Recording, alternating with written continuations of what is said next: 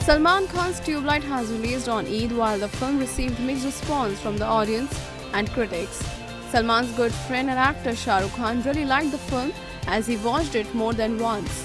On the eve of Eid during the media interaction when Shah Rukh was asked about the review of Tubelight, he said, हाँ यार मुझे मुझे बहुत अच्छी लगी यार मैंने एक्चुअली डेढ़ बार देखी मैंने अ, हाँ मैंने डेढ़ बार देखी फ़िल्म मैंने पहला पूरी फ़िल्म देखी फिर उसके बाद again the first half I saw it at four in the morning मुझे बहुत अच्छी लगी SRK was also asked about his cameo and revealed that he instantly said yes when Salman approached him for the role.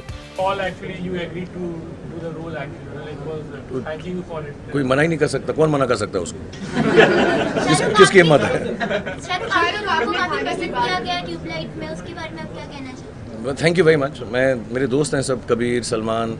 Actually उस team में बहुत सारे लोग हैं जो मैं बहुत पुराना पहले से जानता हूँ। एक्चुअली फ़िल्मों से पहले से जानता हूँ। कबीर उनकी वाइफ उन सबको। सो वो मेरा I think it was my duty to do that and I am happy कि मैंने ठीक ठाक किया क्योंकि एक सीन के लिए फ़िल्म में आओ जैसे ए दिल है मुश्किल या अ, या ट्यूबलाइट में तो इतना कहानी वगैरह का इल्म नहीं होता।